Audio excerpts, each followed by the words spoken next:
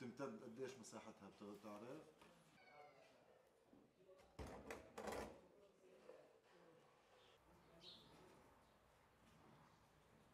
ولا يكون هذا عندنا الترحيل. لو بنموت فيها ونندفن فيها وإحنا أحياء منها ما بنرحم.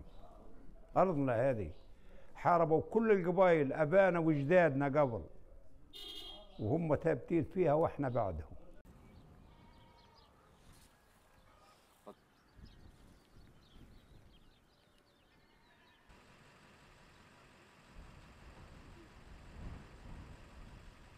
إسرائيل طبعا تنفذ مشروع تطهير عرقي عندما آه، تريد تنظيف هذه الأرض من أصحابها الأصلانيين والذين كانوا قبل قيام الدولة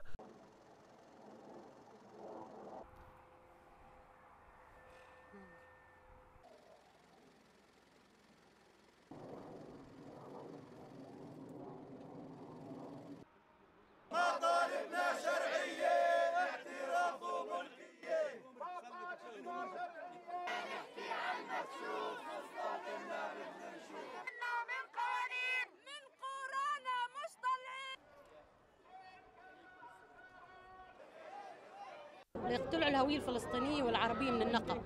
ولا يتم السيطرة و- وتأصيل الجذور من النقب. فأنا بشوف إنه أحد الح- الأشياء المهمة هي استمرار النضال.